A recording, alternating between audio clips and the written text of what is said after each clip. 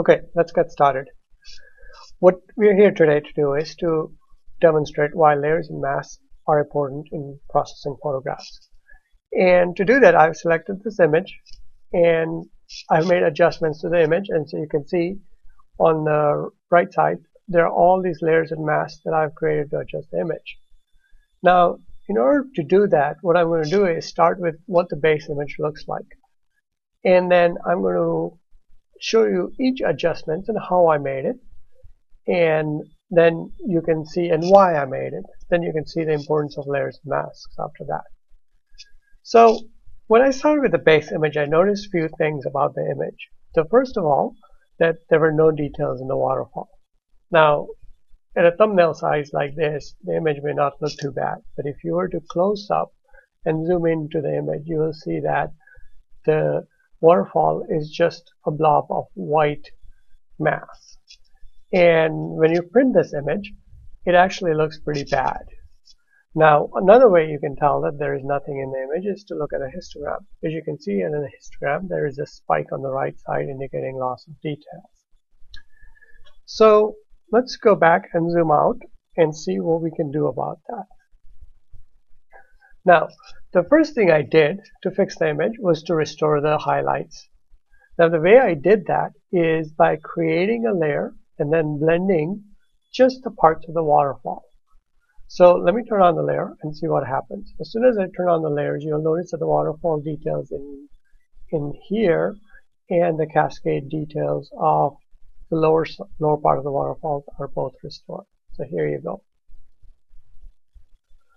Now, you can see that the details are restored not only from the image but also from the histogram. There's no spike on the light and we can see exquisite amount of details all the flow lines in the water in both the lower and upper part of the waterfall.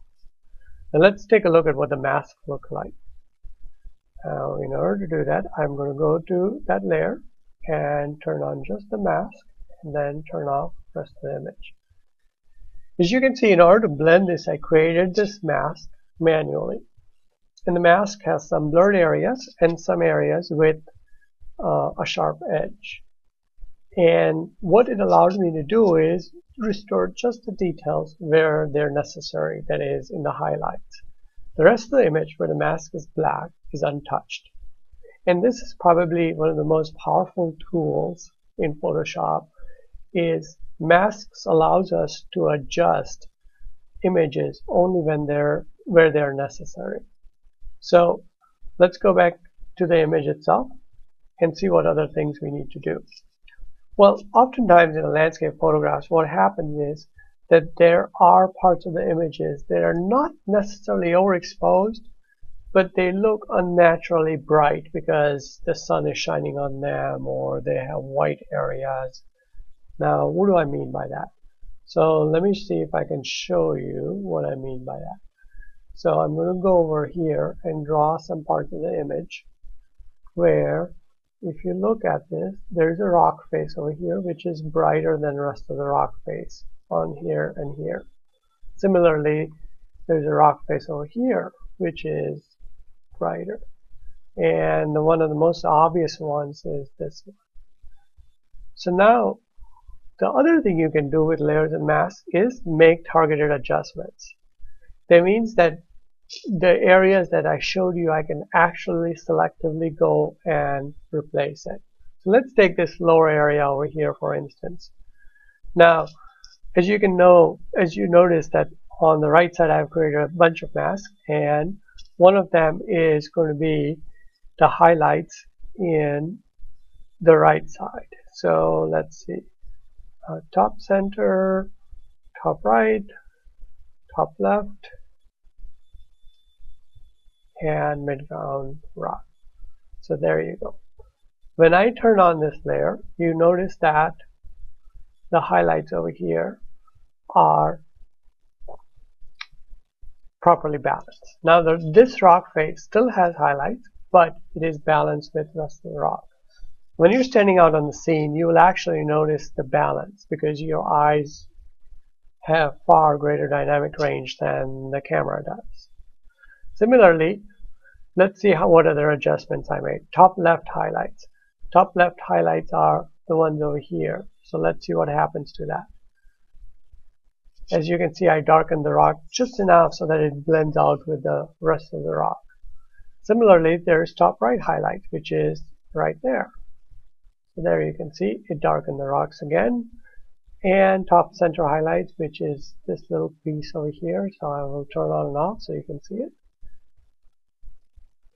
And then the other thing I noticed is that the water in the midground over here is slightly too dark. And oftentimes that occurs because of the use of polarizer. So what I did was I selected just that part of the water of the image and I actually go ahead and brighten it slightly. And then as you notice that even though the details over here are restored, um, the flow lines are not as obvious. It lacks contrast. So the last adjustment I made was actually restore the contrast in that area. So let's see what happens when I turn the last layer on. There you go. So now you can see the flow lines much better.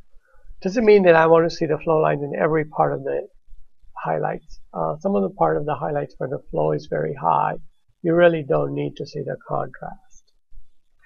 So this demonstrates the power of layers and masks. Now each of these areas were independently adjusted. So if you look at what I started with and what I ended up, I started off with an image which had blown highlights as well as areas of the rocks that were slightly overexposed in other areas. And the finished image not only restored the highlight, but it also made targeted adjustments to the rock face and targeted adjustments to restore the contrast. We hope that this video demonstrates what can be accomplished with layers and masks. Thanks for listening.